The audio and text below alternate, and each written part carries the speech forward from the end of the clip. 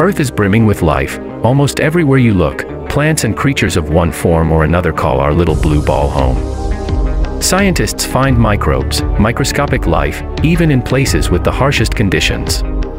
We tend to take Earth's suitability for life for granted. We might think that, with all its beauty and diversity, our planet must be the best anywhere for life. Or is it? Before we start, if you like this kind of videos you can subscribe to my channel. A study from researchers at Washington State University announced makes the case that there may well be planets out there that have conditions even more favorable for life than our own. Out of the over 4,000 currently known exoplanets, the researchers also narrowed those down to 24 candidate superhabitable planets that could be even better suited to life than Earth. The new peer-reviewed paper that explains their reasoning was published in the journal Astrobiology on September 18, 2020.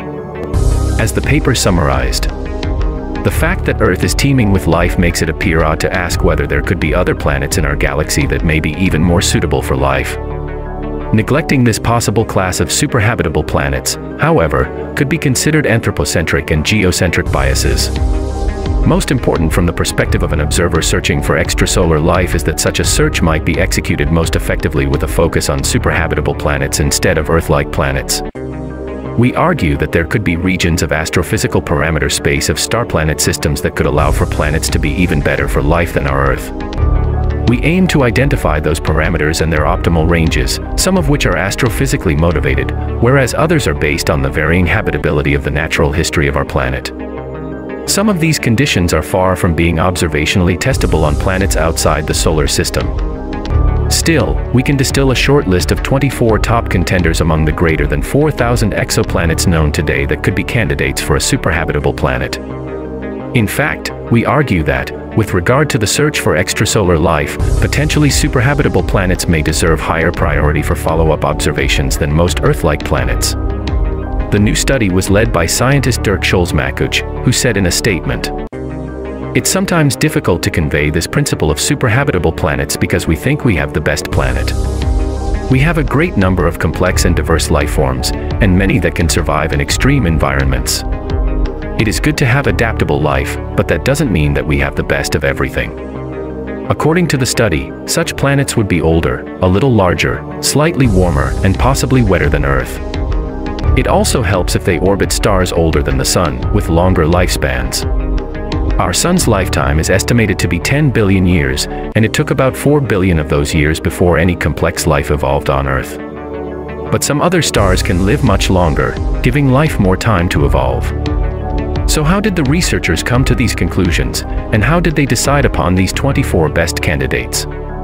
Schulze-Makuch, along with astronomers René Heller of the Max Planck Institute for Solar System Research and Edward Guinan of Villanova University, started with planet-star systems where rocky terrestrial-type planets orbit within the habitable zone, the region around a star where temperatures could allow liquid water to exist. They selected these from the Kepler Objects of Interest Exoplanet Archive of Transiting Exoplanets. Many of these stars are G-stars, similar to our Sun, with similar lifetimes, so the researchers also looked at K-stars, orange red dwarfs, which are cooler, less massive, and less luminous. That may not sound as ideal for life as Sun-like stars, but they have one big advantage, their lifetimes are anywhere from 20 billion to 70 billion years. If life started on a planet orbiting a K-dwarf star, it would have much more time to evolve than life on Earth has so far. Older planets, therefore, are better, but they shouldn't be too old either. Eventually, they will have exhausted their interior geothermal heat and lose their protective geomagnetic fields. What is the ideal age, then? The researchers say that sweet spot age for a planet is about 5 billion to 8 billion years old. Our Earth is still only 4.5 billion years old.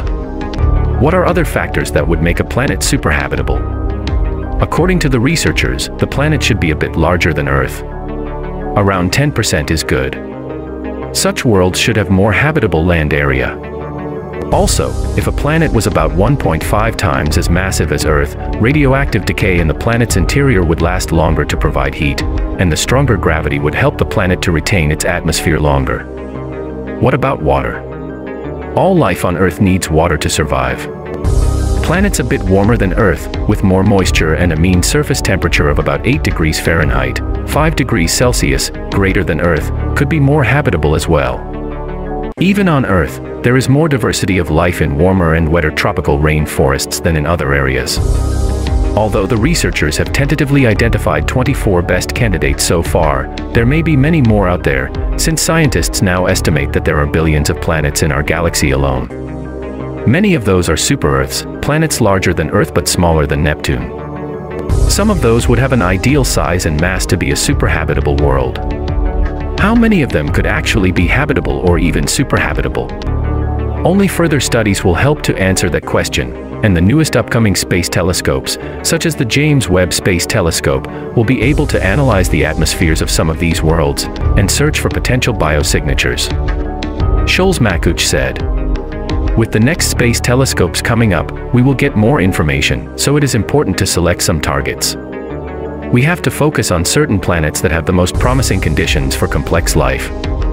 However, we have to be careful to not get stuck looking for a second Earth because there could be planets that might be more suitable for life than ours. The next few years will be an exciting time for exoplanet research. Each discovery brings us closer to, hopefully, finding the first evidence of life outside our solar system. The diversity of life on just our Earth alone is astonishing. If there are indeed superhabitable worlds out there, the kinds of life that may exist may be only limited by our imagination. Just because Earth is the only place known to harbor life doesn't mean it's the best planet for the job. Somewhere out there in the universe, another orbiting object might be better positioned to support life, and it might not look like our own. We have to focus on certain planets that have the most promising conditions for complex life, says astrobiologist Dirk Schulze-Makuch from Washington State University. However, we have to be careful to not get stuck looking for a second Earth because there could be planets that might be more suitable for life than ours. If we're too focused on finding another planet just like Earth, we might fail to notice one that is not only older, larger, warmer, and wetter, but also orbits a star with a longer lifespan than our Sun. Astronomers have been discussing the idea of a superhabitable planet for years, and now, we might have our first few candidates.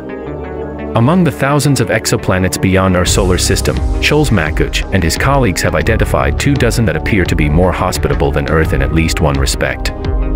While none of these planets fulfill the full criteria for a superhabitable home, one of them does tick four key boxes, which suggests it might provide better and longer conditions for life than here on Earth. Still, the point of the study is not to identify a planet B.